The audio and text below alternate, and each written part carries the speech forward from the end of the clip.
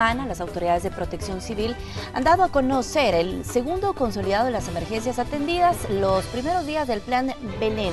Ellos siguen haciendo un llamado a la población a acatar las recomendaciones.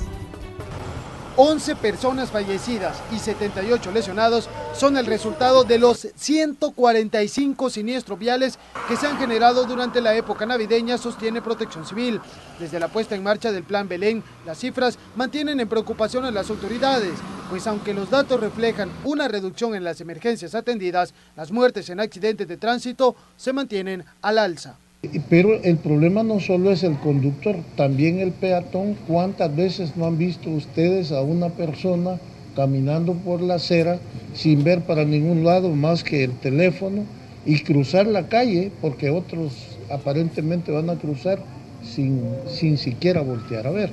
Para prevenir este tipo de hechos, autoridades instalaron 166 controles vehiculares a nivel nacional durante las primeras horas del plan ya se detuvo a 24 conductores en estado de ebriedad. Al compararlo con el año pasado, significa un incremento del 40%. El top 10 de personas con grado de alcohol que se han detenido hasta esta fecha, dentro de las 24, tenemos a una persona eh, en el municipio de Colón con 504 grados el día de ayer. Prácticamente está llegando casi al grado de intoxicación hasta 188 grados el, número 10. Entonces, estas situaciones generan un futuro accidente, entonces hay que prevenirlas.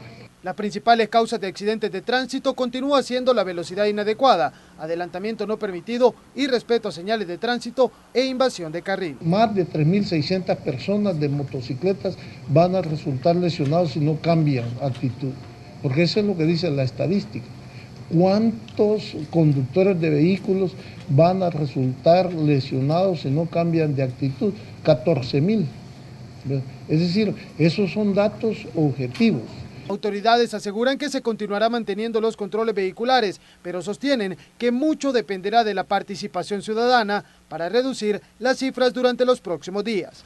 Con imágenes de Juan Castellanos, Antonio Valladares, Noticiero E.